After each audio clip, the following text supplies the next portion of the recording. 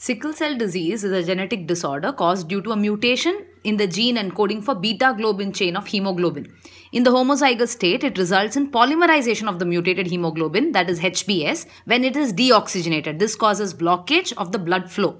Also, the RBCs containing the mutated hemoglobin do not live as long as normal red blood cells. Painful swelling of the hands and feet and anemia are some of the early symptoms of SCD.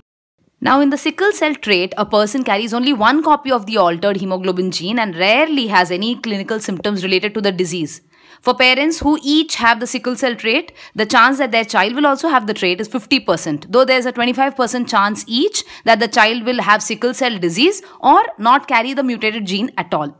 It turns out that in Africa, heterozygous carrier states have been naturally selected because the trait confers some resistance to malaria, resulting in a balanced polymorphism. This is a great example of an evolutionary trade off.